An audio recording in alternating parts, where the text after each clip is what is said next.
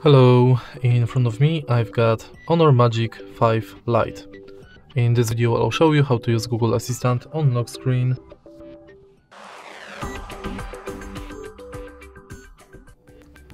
In the beginning let's go to Google app and now enter menu.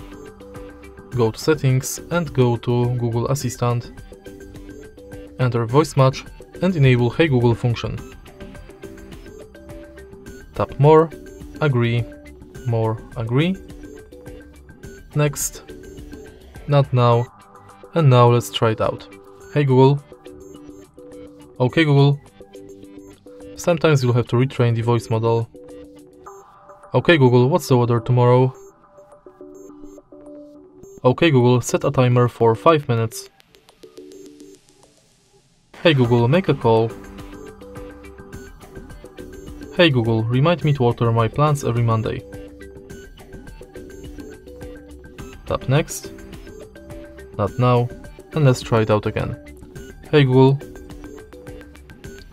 Hey Google. Now we are sure it's working, let's go back and enter lock screen.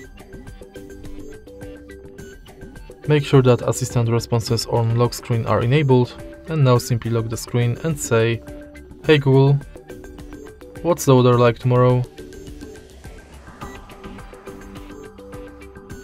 What's the weather like tomorrow? There will be scattered thunderstorms with a high of 82 and a low of 60. And that's basically it. If you find this video helpful, please leave like, comment and subscribe.